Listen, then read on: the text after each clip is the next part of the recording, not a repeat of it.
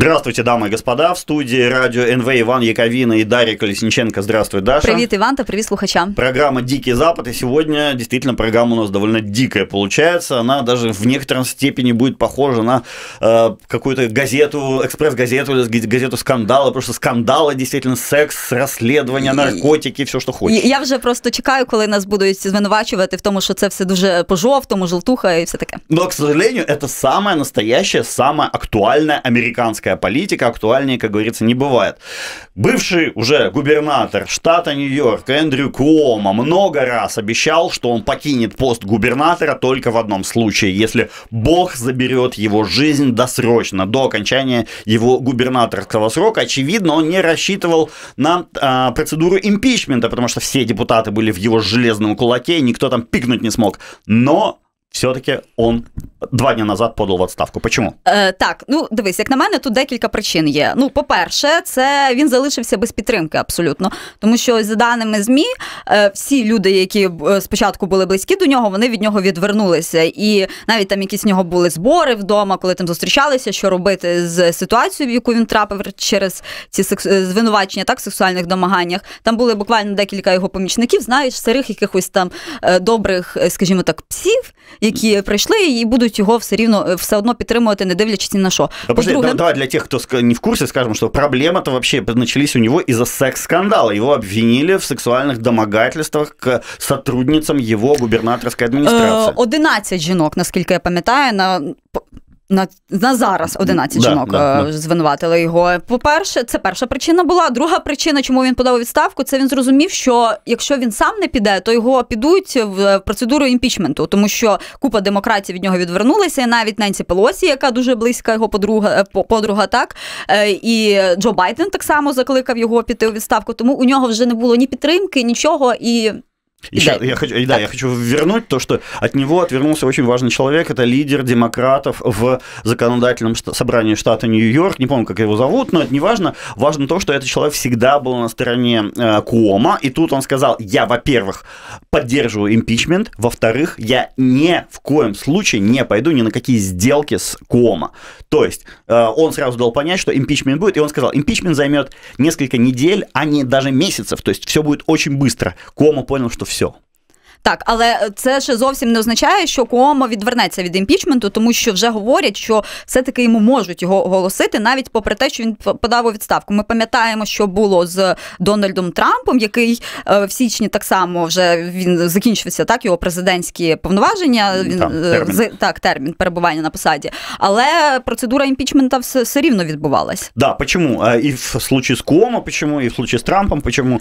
Потому что и того, и другого хотели, хотят отстранить отстранить от возможности даже занимать и выборные посты в будущем. То есть хотят сейчас депутаты Нью-Йоркского законодательного собрания сделать так, чтобы Кома никогда больше не мог избираться больше ни на какой пост в штате Нью-Йорк. То есть они хотят ему уничтожить окончательно его політичну кар'єру. А йому зараз 63 роки, тобто в нього ще могло бути політичне да, майбутнє. Он да. мог еще там, через 5 йти. лет спокойно пойти, потому что через 2 года будут выборы губернатора Нью-Йорка, опять, да, вернее, через год, извини. То есть через за год все может забыть, забыться, и он придет и скажет, ну, смотрите, вот видите, как все плохо, а я пришел, помните, как, как при мне было хорошо, давайте збирайте мене. Могло таке бути. Тим більше люди вважають, що дійсно при ньому було нормально, коли він боровся з ковідом. Да, да, да. Многі люди, але... хоча це неправда, многі люди так думають. Так, але Куомо пішов не один. Він за собою, знаєш, як паровозом потім потягнув цілу купу людей. Одна з них, на, на одній з них я хочу зупинитися більш детально, це його така старша помічниця, найбільш близька до нього, звати її Меліса Дероса. Ну, вона не така стара, їй 38 Ста... лет всього лиш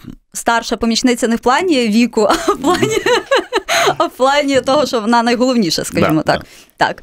Е, Вона звільнилася за декілька днів до того, як і сам кому подав у відставку. І на цій пані я хочу зупинитися більш детально, тому що вона відігравала у цій справі з сексуальними звинуваченнями, так від жінок стосовно кому одну з найголовніших ролей. І зараз я розповім, чому. Е, згідно зі звітом прокурора, е, який прокурора, який вів яка вела розслідування стосовно Коомо е, щодо цих домагань, то Дероса була пов'язана зі спробами приховати дії губернатора, а також оголосила війну проти ну так, фактично, так. Е, проти однієї з жінок, е, яка звинувачувала кому у цих домаганнях. Тобто вона всякими способами намагалася приховати. Да, відмазати, я бы так да, сказал, да, да. губернатора и уничтожить тех женщин, которые на нее... И тут, кстати, интересный такой момент. Она сама пришла работать в администрацию Кома, будучи еще относительно молодой, и тут у нас мнения разошлись. Я считаю, что в общем более или менее симпатичной дамой. Даша говорит, что не, она злая и некрасивая, но я думаю, что тогда, там лет 7 назад, она была окей. Я думаю, что Кома, скорее всего, к ней тоже домогался, получил, что хотел, возвысил ее, а потом бросил ради других, і вона от стала мстити е, всім другим жінкам таким образом. Або можливо бути таке, що вона закохалася в кому, а він сказав їй ні, ні, ні, мені подобаються інші жінки, ти не мому ти не відповідаєш моїм смакам, а вона на нього образилась. Да, ну от у нас вона образилась вот навіть не на нього, а на тих жінок. Да, да, вот это експрес-газети почала. Ну, це наші такі здогадки. Ну, можливо. Я, я в это верю, я реально в это верю, потому что тут я а, просто посмотреть на фотографиях, как она смотрит на этого кома, это не просто рабочие отношения 100%, и совершенно точно там было что-то личное. Вот что именно личное, остается гадать, но что то, что оно там было, я вообще в этом ну, не кому їй точно дуже сильно подобався. Так, навіть на фотографіях можна помітити, ось він десь сидить, а вона прямо руки до нього так простягає близько. Да, то есть вот эта вот Мелисса Дероса, она была и главной злодейкой, одной из главных злодеек, и главной жертви нещасної, трагічної э, фігури во всьому этом скандалі. Я би так Ще то, що вона мала дуже великий вплив, е, показано тим, що на цьому в цьому звіті прокуратури е, ім'я Куомо згадується 187 разів, а її 168. То есть, тобто майже одинаково. Да, почти как жена его вот здесь, или сообщница фигурирует. Ну, в общем, понятно. Кстати, Крис Куома, брат нашего этого друга э, Эндрю Куома, он, ты знаешь, он ушел з CNN. Він пішов у відпустку. Да, Він сказав, да, що в нього ну, день народження народження, да. і він пішов у відпустку. Ну, знаете, многие ли из нас празднуют свой день рождения в течение недели, а то и двух недель, он в недельный отпуск ушел, чтобы просто не освещать весь этот скандал. Как а ти бачив, до речі, що він заявляв ще в, в березні, коли тільки почали з'являтися ці звинувачення? Він сказав, що він його брат, і він не може е, да. тому говорити на цю тему. Все, до побачення. Да, ну, в общем, ще з Крісом теж, я думаю, історія буде розвиватися. А Кріса побачили журналісти, він якраз поїхав в Хемптонс відпочивати собі, це досить таке дороге місце. І його запитали, чи він розмовляв зі своїм братом після того, як він подав відставку. Він сказав, що так. І ще ширились такі чутки, що саме Кріс Комо е, просто заставив, буквально змусив так свого брата подати відставку. Я розумію, чому, тому що якщо за свою брат, кар'єру за своєю кар'єрою волнується, звісно. Головне, просто якщо брат не ушов в відставку, то він потягнув би за собою на дно і Ну він вже потягнув, якщо е, в так серед губернаторських наближених так тих Это чиновників. Правда, да. Е... Ну що ж, давай у нас зараз буде небольшой перерыв, далі поговоримо о новых скандалах и расследованиях. Продолжаем разговор. Ваня Яковина, Дарья Колесниченко. Продолжаем обсуждать скандал в э, руководстве штата Нью-Йорк. Е, Так, е, ми говоримо про Мелісу Деросу, яка дуже наближена до Ендрю Куомо, і звільнилася вона так само з, зі своєї посади. І зараз, е, судячи по всьому, в неї так само можуть бути проблеми насправді. А працівники її дуже сильно ненавиділи. Можливо, це ще одна з причин була, чому вона пішла. Е, як кажуть, що ось така токсична атмосфера в офісі кому була саме через цю Мелісу. Давай я просто наведу декілька цитат, Давай. що на умовах повної анонімності розповідають про неї її знайомі. Вона безжалісна, безсердечна, зла людина, яка вирве вам серце, щоб отримати те, що вона хоче. Ще одна цитата. У неї немає часу на тонкощі, у неї немає часу дізнатися, як вас як особистість. Ви або людина, яка робить щось для неї, або ви її заважаєте. Ось так навіть. Угу. Ну, До речі, на Куомо схоже. Да, да, да. Просто про Куомо говорили, что он либо вы с ним сотрудничаете, либо он вас уничтожает. То есть довольно такой серпентарий там был построен адский в э, руководстве штата Нью-Йорк. В общем, наверное, даже хорошо, что он все там так, розвалилось. І, і ще одна ще один з ще одна з людей сказала, що ось якщо є кого ненавидять більше більше ніж кому, то саме цю Мелісу. Угу. Ну вот. Губернатором штата Нью-Йорк сейчас станет Вперше старше, вперше стане Женщина. жінка насправді завдяки цьому. Впервые, да, в истории этого штата Кэти будет Холл. Кэти Холл. Она уже пообещала, что вот эту токсичную атмосферу в руководстве штата она разгонит и сделает, чтобы там засияло солнце и запрыгали единороги. Посмотрим, вряд ли это получится. Почему? Потому что Летиция Джеймс, я считаю, это главная героиня всей этой истории. Это... А можна я тільки додам да. ще трохи про цю Кеті Холл? Давай. Вона цікава тим, що саме Холл, вона є відомим борцем з сексуальними домаганнями Змаганнями. І коли вона почала в 2014 році працювати з Куомо, вона саме займалася цією темою, і в неї навіть є організацію вона створювала, яка допомагала жінкам, які стали жертвами сексуальних mm-hmm. домагань. І Треба віддати їй належне, щоб ніхто не думав, що тут вона займається допомогою, а тут вона працює з губернатором, який просто втравив дикий скандал так через ці сексуальні домагання. Коли почалася ця вся тема, вона виступала вже проти кому. Ну я розумію, що тут в неї є і особисті якісь... Конечно, блин, то, что кому уходит, она становится губернаторшей. Плюс, знаешь, ей надо было, конечно, чесаться не тогда, когда начался скандал, а когда скандала не было. Ей надо было самой инициировать этот скандал.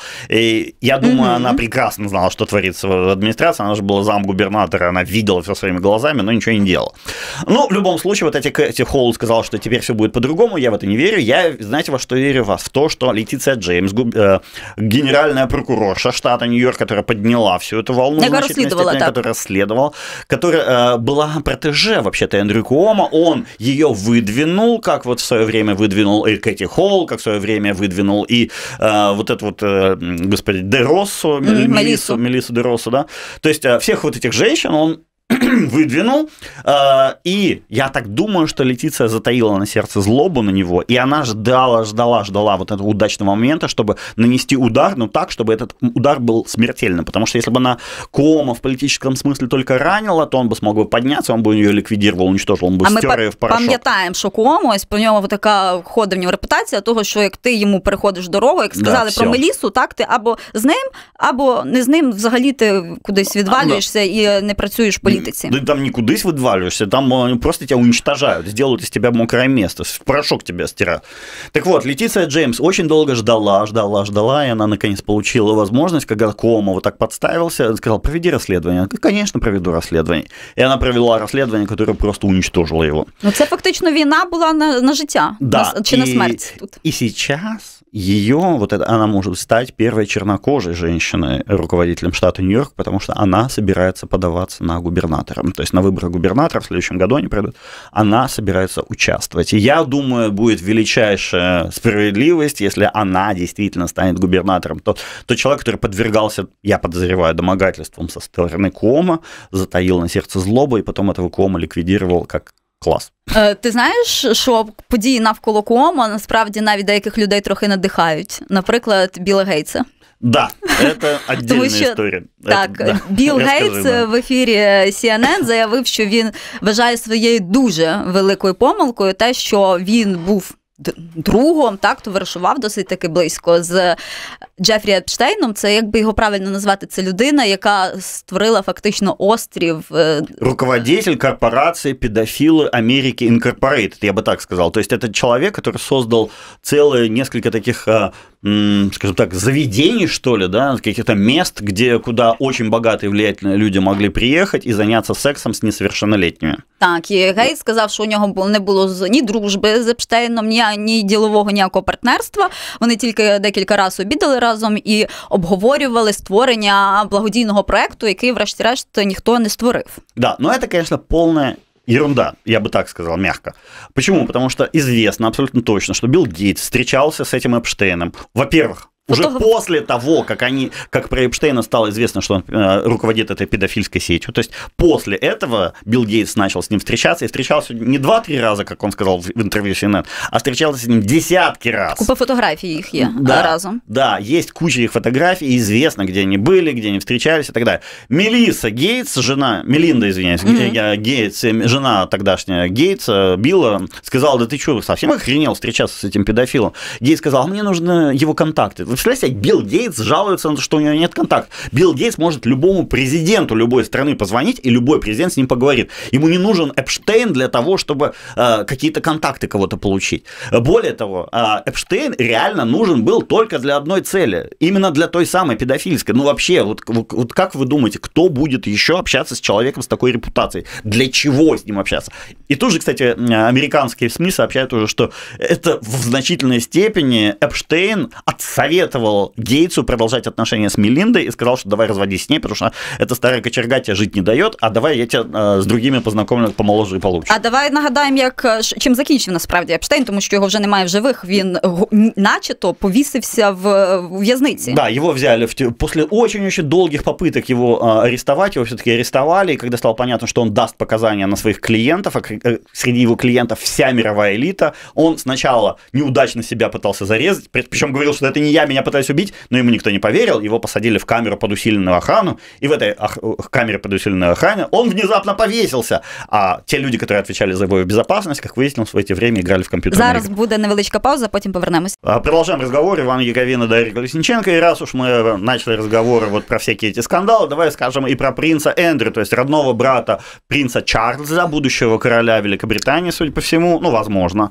Сын, сына, Елизаветы. Сын Елизавета. Так вот, этот принц Эндрю а, тоже вляпался в нехорошую историю, связанную с Эпштейном. Он тоже был большим другом этого Эпштейна. Они тоже тусили вместе и так далее. Хотели так створювати благодійну организацию. Да, и даже вот одна из жертв этих организаторов подала на него в суд. Зовут ее Вирджиния Джуфре.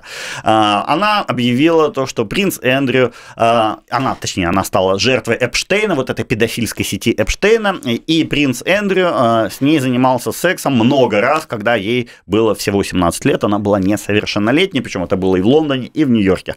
То есть вот, вот такой вот у нас брат королевский, сын королевский, даже не знаю, как ну, сказать. треба сказати, що він всі звинувачення відкидає зараз. А, да, но сейчас он, по, по идее, обязан появиться перед американским судом вот так там відкидає, что называется, ты сидя там у себя в Лондоне и, и через газеты відкидає. А вот пускай он в суде это тоже сделал, то же самое сделал. Это будет очень сложно, потому что есть фотографии, есть куча свидетельств того, что он был на этом педофильском острове и занимался там тем, чем занимался. И, и я думаю, как только он в суде появится, сразу появятся и другие свидетельницы, которые скажут, да, было, вот пока он там в Лондоне сидит, они боятся. А вот если он в суді, если он будет в наручниках, тогда, тогда все буде совсем Ти знаєш, я трохи співчуваю Єлизаветі, тому що на неї просто сипляться проблеми зі всіх боків. То спочатку Меган Маркл там почала розповідати різні жахливі речі про расизм і так далі. Так у них е, в, в королівській родині. Потім помер е, Філіп. А тепер ще й ну е, з Ендрю ця історія правда давно вже тягнеться, але знову вона знаєш починає набирати цієї публічності. Да, но про младших сыновей, которые вляпываются в дикие истории младших, я бы сказал так, королевской крови сыновей, у нас Голубой. есть еще одна история. Так. Я, знаешь, прочитал про нее, я сначала своим глазам не поверил, я думаю, да не может быть, ну это уж тумач, короче, это вот слишком уже. Та ні. Но нет, правда, Хантер Байден. Так, видання Daily Mail опублікувало так, видання Daily Mail опублікувало відео, на якому ймовірно, будемо говорити, ймовірно, син Джо Байдена Хантер Байден без одягу. Да. Так, е, старший його син помер, потім про нього ж трошки скажемо. Е, без одягу розповідає невідомій дівчині, судячи по всьому, там легкої Теж поведінки, так, легкої поведінки. Вони знаходять, перебувають в якомусь мотелі, не дуже дорогому, якщо так прикинути так, оцю всю обстановку. Про те, що у нього вкрали ноутбук з порнокомпроматом на нього. І за його словами, він розважався в якійсь компанії російських. Е, російських людей з Росії, так і він вважає, що саме вони вкрали. Так, і, і саме вони вкрали цей ноутбук. Да, то есть представьте себе, э, нет, там речь о том, что он э, тусил в компании с драг-дилером и какими-то россиянами, которые ну, снабжали це, его наркотой. Це начебто да. росій, російські наркоторговці. Да, да, да. И эти, эти многоуважаемые господа тиснули его ноутбук с, компромат, с порно-компроматом, там еще какой-то фигня. Короче. Так, і при цьому він був майже без свідомості в джакузі в той час. Да, обгашенный, соответственно. Тут даже не знаешь, с чего начать, потому что президент, сын президента президента США, так, а на тот момент он, а нет, на тот момент он просто был, по-моему, бывшим вице-президентом, что 19 год, рассказывает проститутке о том, что во время э, развлечений с другой проституткой и российскими наркоторговцами, будучи удолбанным в ноль, у него украли россияне, э, русские шпионы, по сути дела, ноутбук с компроматом, с порно-компроматом на него самого У меня просто мозг взорвался. Знаешь, я, я знаешь, думаю, э, что, ну, бывает, люди попадают в нелепые, тупые ситуации. Реально бывает. Ну как можна бути настільки абсолютним дебілом? Ну він я, постійно я... насправді втрапляє в такі ситуації і.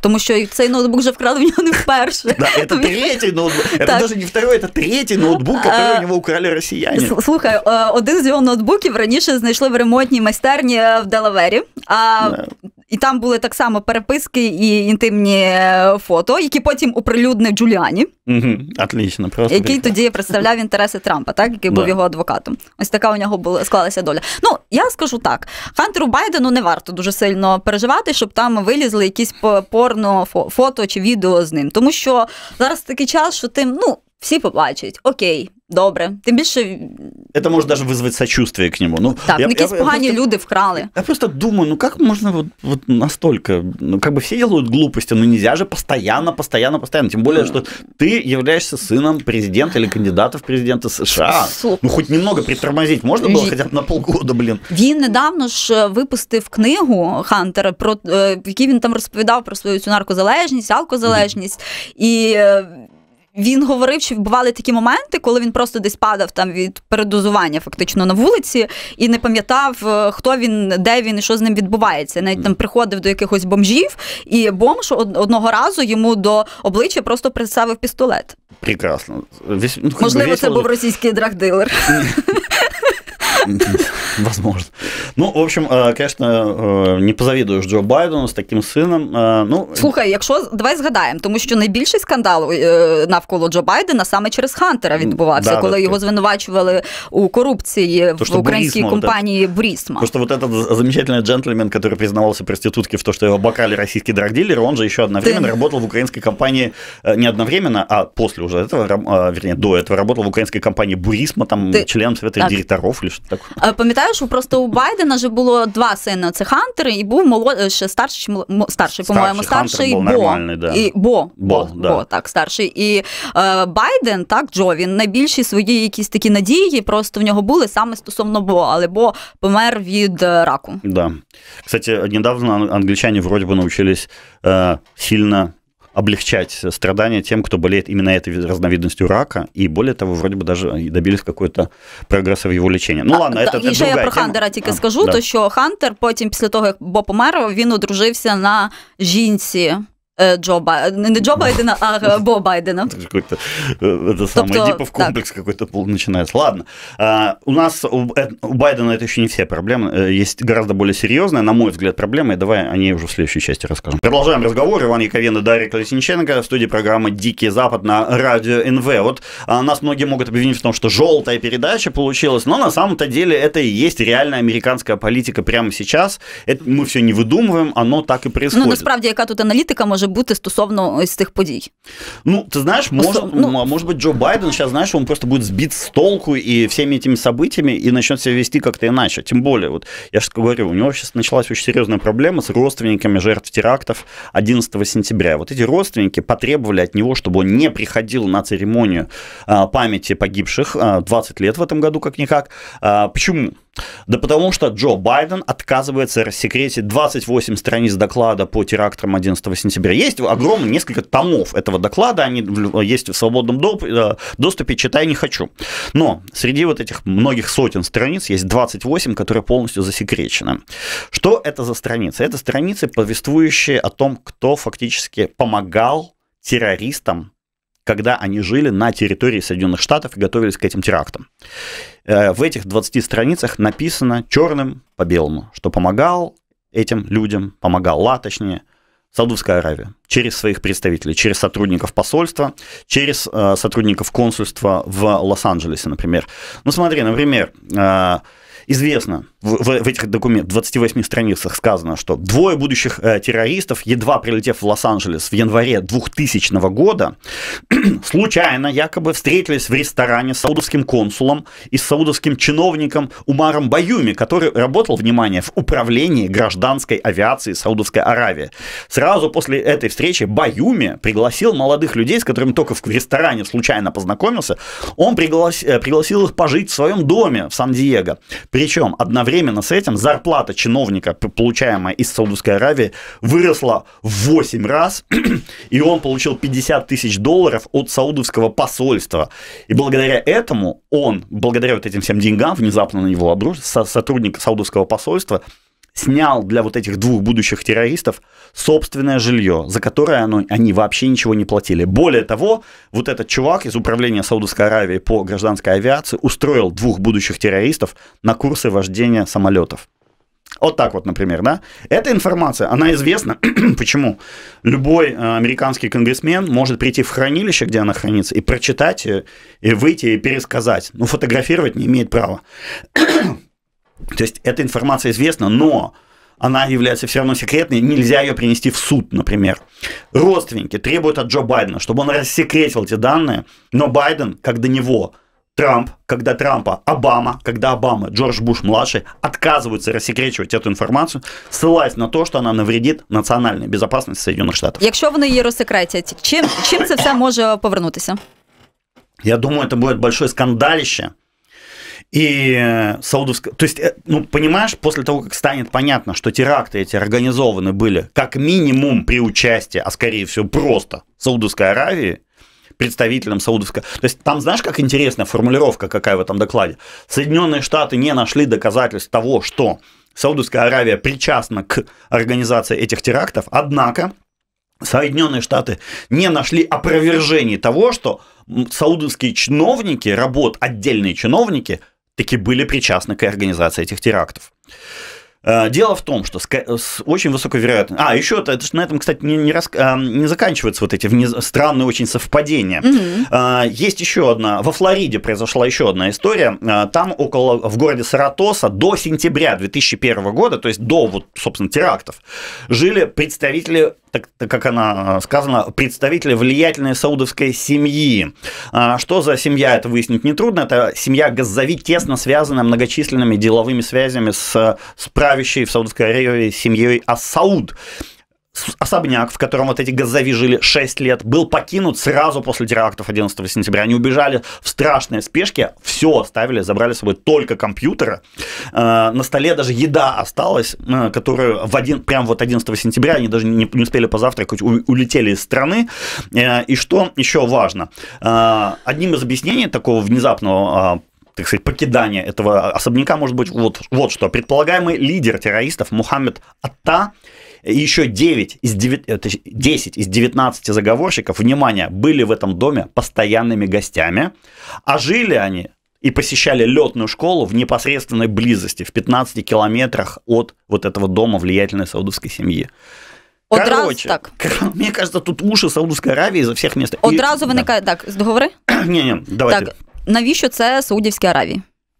Саудовской Аравии это могло быть нужно для того, чтобы, понимаешь, а, она, например, очень не любила Саддама Хусейна. Они хотели сковырнуть Саддама Хусейна, и, в общем, через два хода, через два года, точнее, после 11 а, сентября, они Саддама Хусейна руками американцев сковырнули. Более того, они хотели сковырнуть Иран. Джордж Буш едва-едва не начал войну против Ирана тоже. То есть Саудовская Аравия могла порешать много своих всяких каких-то вопросов. Плюс Им это удалось. Да, а, частично, да, то есть с а, Саддамом мы не точно разобрались. Mm-hmm. Плюс это просто огромным образом повысило цену на нефть и привязала американцев к Саудовской Аравии. То есть, ну, в значительной степени от Саудовской, Саудовская Аравия взяла а, полностью управление арабским миром в свои руки. Вот, вот так случилось, да, благодаря вот этим терактам 11 сентября. И э, американское присутствие на Ближнем Востоке очень сильно повысилось, и вообще этот регион мира стал для американцев гораздо более важным, чем был до этого. Ти, ти як думаєш, Байдену вдасться відмовчатися чи ні? Я не знаю. Я серьезно не знаю. Потому что, понимаешь, если он опубликует эти документы, mm-hmm. то придется признать, что э, Саудовская Аравия принимала участие в организации этих терактов. І тоді будуть запитання, до речі, до його попередників. Да, дуже да, великі. Для, до всех, да, потому что, ну, прикинь, ну, все знали, что Саудовская Аравия в этом участвовала, но никто об этом ничего не говорил. И все говорили, делали вид, что там, типа, ну, Бен Ладен и все. Да, кстати, Бен Ладен тоже Саудовская Аравия, между прочим, он же саудит. Угу. И э, кстати, многие думают, что из Афганистана было нападение, это осуществлено. Не, на самом деле это оно готовилось из Саудовской Аравии. Почти все участники этого нападения были саудиты. В общем, эта история очень интересна, как она к 11 сентября будет разворачиваться. Будем внимательно за ней следить, потому что мне кажется, там может быть что-то интересное. Так, а на цій ноті сьогодні будемо закінчувати. Да. У студії були Іван Яковина, Дарья Колесниченко. Да пребудет с вами сила и пока-пока. Подписывайся на канал Радио НВ. Вот тут.